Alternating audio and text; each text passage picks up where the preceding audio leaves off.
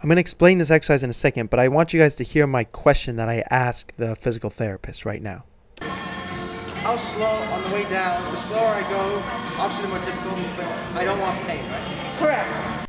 I apologize for the country music for those of you who don't like it. I'm not sure if you heard, but I was asking her how slow do I go down when I'm eccentrically loading? And I asked her, should I have pain? And she said no. And I think that's really important for all of us. We want to stay in the levels of one to two level pain whenever we do any exercise, especially a new one.